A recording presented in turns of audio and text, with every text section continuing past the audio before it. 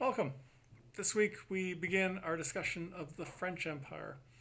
The French, hmm, the verb is tricky actually. Control, dominate. Uh, it's hard to say exactly what they do, but they certainly are the major political presence in northeastern North America um, for the 17th and the first half of the 18th century. Uh, they control the territory of modern Nova Scotia, New Brunswick, into Quebec, much of Ontario, and much of the central United States as well. Um, but control is it's, it's a tricky word, as we'll see in the next few minutes, um, because as and as this map you're seeing right now indicates, that yellow area is labeled as New France, but as we'll see, their their actual presence on the ground uh, is much less significant than that map would would indicate. We're going to look at a number of topics here today, and we're going to look at them quickly. Uh, but we'll set up the topic in a general sense. We're going to look at New France as a commercial colony, and again, that that, that adjective is important. Uh, the the British colonies to the south and what becomes the United States are largely settler colonies. They're driven driven by a settler population. Uh, this is a commercial colony where settlement is not nearly so much an, an issue, uh, and that means that over the long term, uh, the French impact, the French presence in North America will be smaller, and that will that, that different demography from the British colonies will be significant later down the road. Look at relations with indigenous peoples. Um, we'll be focusing on two groups here. We'll be looking at the, the Montagnais and the Ottawa, uh, north of the St. Lawrence River, uh, and we'll be looking at the Iroquois south of the of the uh, St. Lawrence River, and we'll also spend some time, uh, not in this video, but in our next video, uh, on the Huron, who are uh, obviously near what we now call Lake Huron, but in what is now Western Ontario.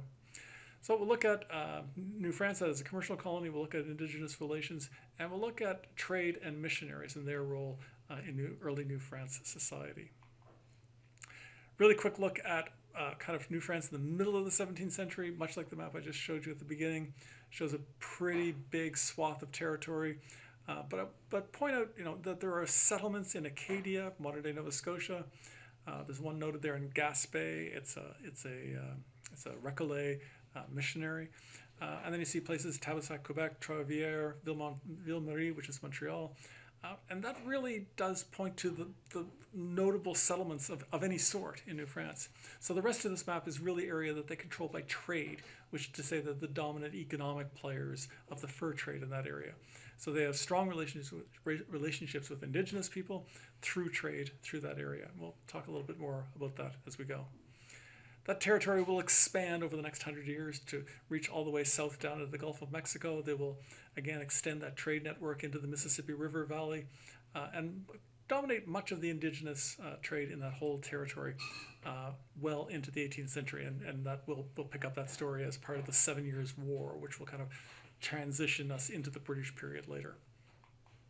I want to tell a little quick story here to give you some sense of kind of what a slow, protracted story this is, but also to link into our earlier discussion uh, about, uh, about uh, indigenous history and how Europeans were walking into indigenous history. This is the route of Jacques Cartier, who uh, explores uh, the Gulf of St. Lawrence in 1534. Cartier is often held up to be the, the father of New France, the, the, the, the, the earliest explorer figure uh, in establishing uh, a French presence in North America. And that's certainly true in, in, in one sense. Certainly, he's the first of the king's representatives to explore the area. He's there officially, he's not just kind of there as we, we, we saw in our introductory lecture that fishing people may well have been in this territory. Um, he's not there just as a fishing person. He's there to map. He's there to to uh, to provide uh, knowledge of what possibilities might exist for the French in this new territory. What I want you to see, though, is this route he takes. And, and, notice that he goes by Prince Edward Island. He goes by the western end of Prince Edward Island. And then he goes up along the Gaspé. He records all this in his report. Uh, and when he gets to the Gaspé, uh, sorry, when he gets to Prince Edward Island, um, he stays there overnight. He anchors his ship there overnight. And when he comes out in the morning, there are indigenous people on the beach uh, waving uh, furs on sticks to him. And they, they clearly want to trade. Uh, and that's really interesting because if he's the first uh, European vessel they've seen, they certainly don't seem intimidated by him. Uh, and in fact, they even seem to think, oh, he probably wants to trade. And given, again, the, the kind of notion that he must be strange, that seems a bit odd. But of course, he's not strange. Well, he might be strange, but, but he's not the first European to show up in these waters. Um, there have been Basque, French, Irish, English fishermen uh, fishing in this area for 30, 40, 50 years at this point in time. Um, and so he's just another boat passing by. But they know he's probably interested in trade. He does trade with them. He talks to them. They, they can't talk. They don't speak the same language, but they, you know, they engage in some sort of communication.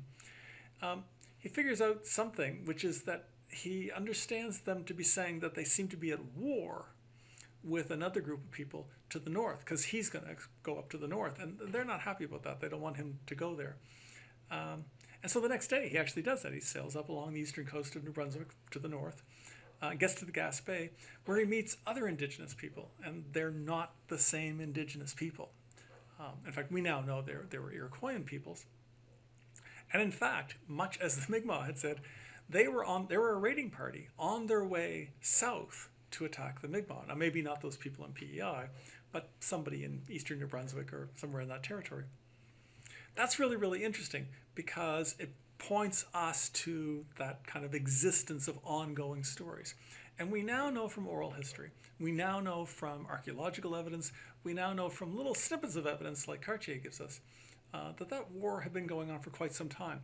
In fact, what was really happening was a battle between a group of Algonquian peoples, including the Mi'kmaq, including the Abenaki, including the Maliseet, including the Montagnais, against the Iroquois. And they're trying to push them back down uh, the St. Lawrence River Valley. And this is kind of part of that war. So this is 1534 that this is taking part, taking place. The next year, uh, Cartier sails back down the river, uh, comes comes back from France, sails down the, the Gulf of St. Lawrence again. This time he goes all the way down the river, uh, explores some uh, some Iroquoian villages, one at Hochelaga, uh, which is modern day Montreal, and one at Stadacona, modern day Quebec. And he documents this for us and describes it in, in some detail in his voyages.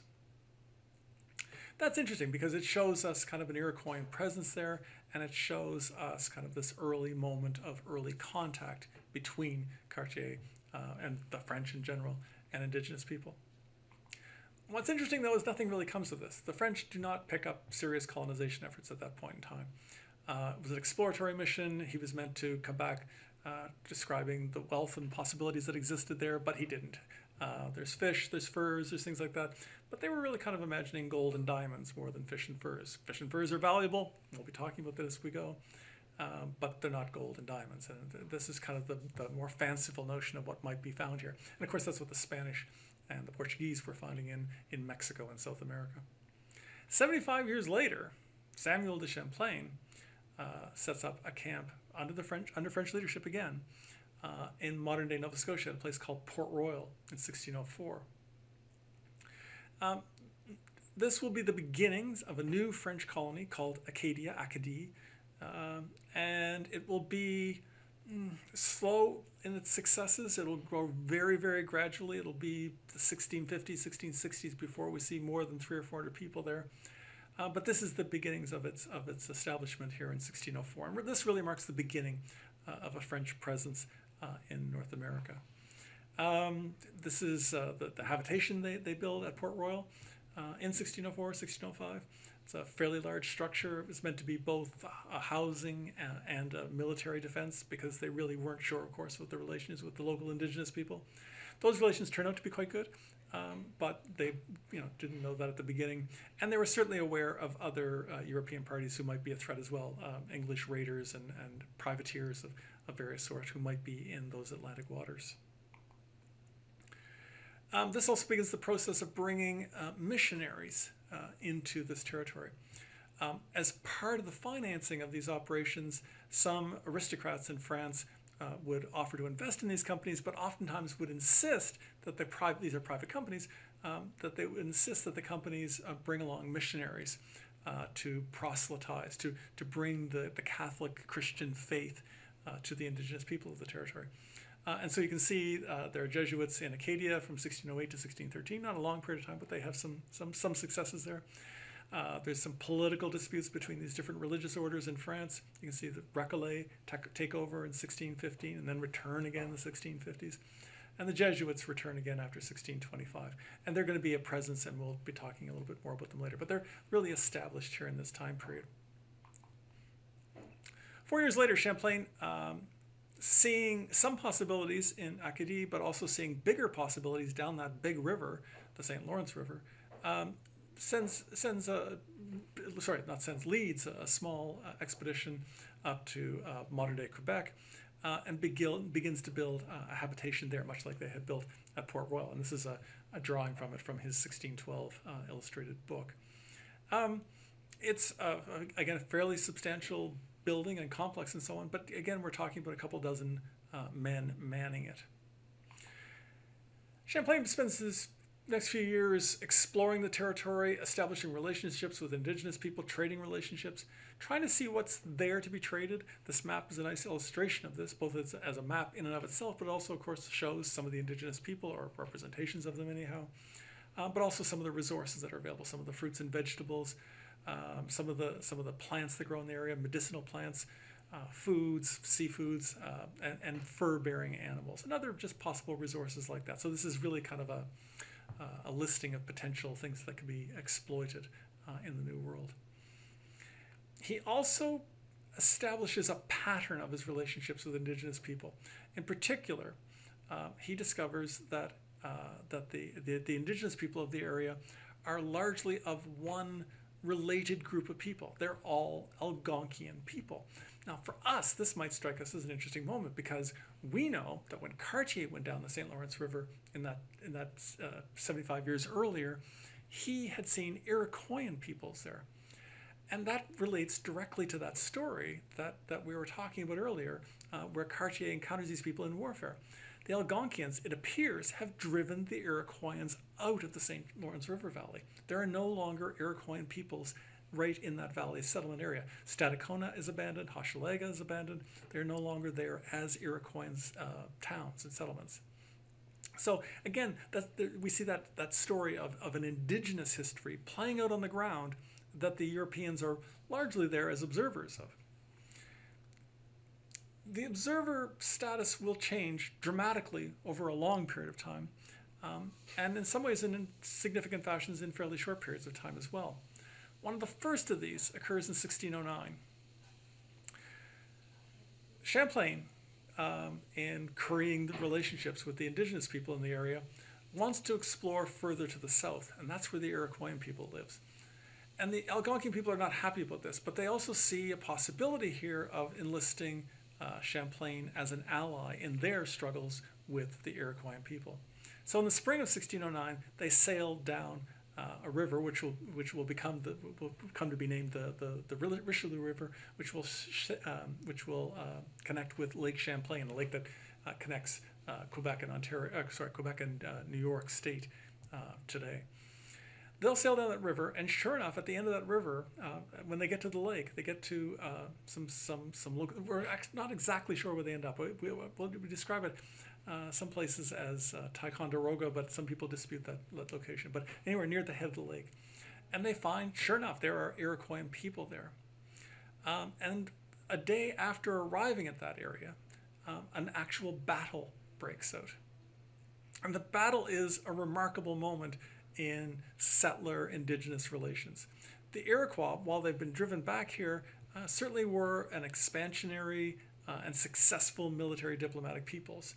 Um, but certainly the Algonquians wished to push them back even further uh, into, into, back into Iroquoian territory. When the battle breaks out, uh, Champlain is able to bring along some of his French weapons. In particular, he's able to bring along uh, some French guns. And by modern standards, these are not impressive guns. They're really kind of small cannons. Their accuracy isn't particularly good, uh, but they're powerful. Uh, and at close range, they can kill people. Uh, and that's exactly what happens. Champlain fires his gun, some of his men fire their guns, uh, and they kill at least two of the Iroquoian leaders in the initial charge in the first minutes of the battle. The Iroquois have never seen this before. Uh, it's the first time they've encountered um, uh, gunpowder weapons before. Uh, and so they, they, they're, they're, they're taken aback by this, they don't understand this, and they, they certainly retreat at this moment. It's a decisive victory for uh, the Algonquian peoples. And of course, it will set a pattern uh, for ongoing relations between the French uh, and indigenous people in the area. They will be allies of the Algonquians, they will be enemies of the Iroquois. And it won't be till 1701, almost a century later, uh, that a significant peace will be established between the French and the Iroquois. We'll, we'll, we'll pick that story up later. The story of New France is a slow and protracted story. There's not a lot of money being invested here. Uh, in 1627, a new company is formed called the Company of 100 Associates. They begin to put some money into the into the uh, into the into the firm into the area, but still not a whole lot of money. The fur trade is developing, the missionary activity is developing, but it's slow, it's gradual. The profits aren't that great, uh, and very few settlers moving into the area. We're talking about a couple hundred people uh, in the in the 1620s. Some of the strongest relations established in this time period are being established by the, the missionaries, um, most of them Jesuits. Uh, they are active in Acadia, uh, they're active in New France, they're active uh, particularly among the Huron uh, in what's now Western Ontario. These are controversial and complex relations. Um, certainly today we, te we tend to view them as a kind of cultural assimilation, a kind of kind of cultural genocide in some people's terminology. Um, certainly they didn't view it in those terms. Certainly they viewed it as, as bringing uh, salvation uh, to, to people who did not know uh, a true religion. Um, but what does come out of this are some strengthened relations and what you can call kind of a cultural cement uh, that was added on to the trade relationship, that was added on to the military relationship. So it was another kind of dimension to the, to the, to the whole story. Um, that we'll, we'll pick up a little bit more of this in some of our later discussions, but it's certainly important to see that this is a general dimension of, of the ongoing French indigenous relationship. And it's also linked to the fur trade because that's how these guys get out into that country. Uh, they're carried out on fur trade vessels. Uh, they establish connections with these people, and the people they establish connections with are largely ones who are interested in participating in the fur trade. So, for example, uh, this is uh, Jean de Brebeuf, who you can see does not fare well uh, as a missionary. He's, he's martyred uh, in 1648, and we'll come back to that story later as well. Um, but what you do know, need to know is that he's out there working among the Huron, the Wendat people. and um, it's precisely because the Huron, Wendat people have become important players in the fur trade that he's there. It's become a center in kind of French indigenous relations on a trade basis, and it will also become one on a religious basis. So these things are kind of two sides of a, of a single coin. Throughout this time period, a whole complex series of wars breaks out the Iroquois Wars, the Abenaki Wars, the Fox Wars, all throughout the 17th and early 18th centuries. These are complex. They relate to various different alliances formed between the British, the French, the Dutch for a time. Uh, the Iroquois are largely in the middle as the largest single indigenous group, certainly on the ground militarily, a comparable force, in many cases, much stronger force than the French and the British. Uh, and certainly trying to play a kind of uh, a kind of buffer role uh, between them, trying to control their own territory, trying to play the British and the French off of each other, uh, using diplomacy and warfare as part of that. But it's all linked to the fur trade. It's all linked to kind of expansionary pressures, both in the British colonies in the modern day United States and the French colonies in modern day Canada. We won't spend much more time talking about this, but it is important to know that along that buffer zone, uh, there's a kind of, I wouldn't say a constant state of warfare, but it's certainly a regular feature uh, of life in that area. So we kind of need to look at this and say, well, there's not many settlers there. Uh, they're expanding through trade. They've got some missionaries there and so on. So is this actually, in fact, a French territory? Um, and I'm just giving you this little close-up of a map here, which you know, this is not a, a, map that represents territory that people at the time would have actually identified in this this kind of fashion. But you can certainly see there's the you know, the, uh, uh, the ancient country of the Outaouais. There's the, the the land of the Iroquois of the north, um, and the French may be claiming. I can see the Abenaki there in the in the uh, in the lower right, um, and so you can certainly get a sense that that from even on this French map, uh, that it's largely dominated by indigenous people uh, that they are the ones who occupy most of the space. They still control the territory uh, in a significant fashion. They still have great autonomy uh, in their own lives. So how did the French find stability in this situation? Well, largely through trade. Um, this is, uh, I assure you, most indigenous people brought more than one skin to a fur trade exchange. Uh, they would usually bring hundreds. Um, but this is just a nice little illustration that's found on an 18th century map. Um, but it does give you that nice sense of, of, of, trade and the fur trade and how it worked out. um, certainly for the French it was important and powerful. It meant that they established good relationships with people. If both people people found benefit through this trade, and certainly indigenous people calculated in their own interest that they were receiving something valuable, uh, and the French people calculated that they were receiving something valuable. That's what make trades. That's what makes trade work, and that will encourage stability. Uh, so whatever hostilities might have existed amongst these people, whatever suspicions might have existed amongst these people, uh, certainly trade provided uh, a, a, kind of uh, a sweetener uh, for, for the relationship. They also found stability through alliances. Um, the Iroquois consistently aligned with the British and the Dutch to the south, the Algonquians to the west and the north consistently aligned with the French. And that gave the French a good, strong footing on the ground. It, it, and, and it's very, very closely linked with the fur trade. Uh, it's very closely linked with the relationships established in the fur trade, again, of mutual benefit. And again, in the long term, people say, well, did indigenous people benefit equally? In the long term, no. But in the short term, they're making a calculation that they are receiving benefits that they find acceptable in those terms. Uh, which is not to say that they, you know, somehow agreed to the larger patterns of history. They didn't. They, they were agreeing to, agreeing to, to, uh, to uh, trade issues on the ground, very, fairly simple matters. Uh, in the long term, it wasn't the right course, but they couldn't possibly have known that. They also found stability through the missionaries, and this is probably the least uh, important one for the longer term, um, but more in the east, particularly in Nova Scotia, modern day uh, St. Lawrence River Valley, again, right in that kind of Quebec Montreal corridor. Uh, there's there's pretty strong conversion rates among uh, among Indigenous people.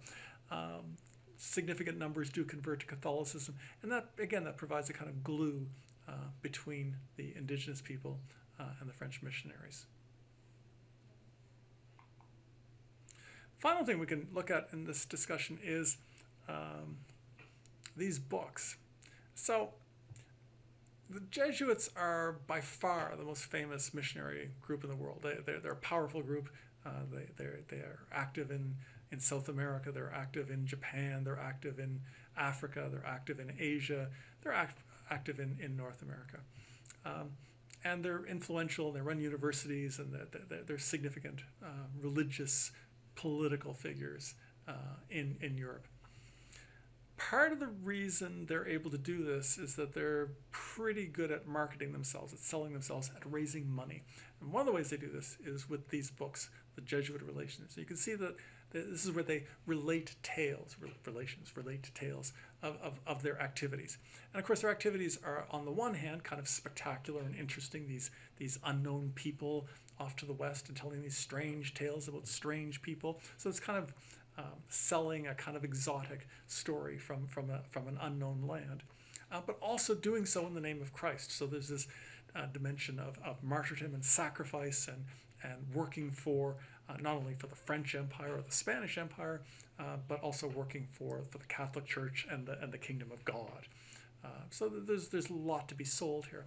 They sell they so when the, when the Jesuits um, sometimes when they return, but sometimes they send these back from the New World. But when they return to France, um, they'll write these accounts of what they did, and they're really remarkable accounts. They're detailed. Uh, they tell really interesting stories, uh, and they just there there are by far our best firsthand accounts of the relationships between indigenous people uh, and these colonizers. They're problematic in all kinds of ways. They're certainly deeply biased. They're certainly deeply influenced by the prejudices uh, that the Jesuits would bring to these to these uh, to these situations. But the Jesuits are also highly educated men who have, and this is really important, who have a real interest in understanding the people they're trying to convert. In other words, they're not just trying to kind of take advantage of these people and say, you must convert because we know the truth. Of course, they, they, they do want them to convert, but they want them to understand why they're converting. They want them to understand the gospel of Jesus Christ. And that's really, really important. So it becomes very important for them to understand the cultures that they're dealing with. So they try really, really hard. And we can read it today and say, you know, they were failing in kinds of obvious ways.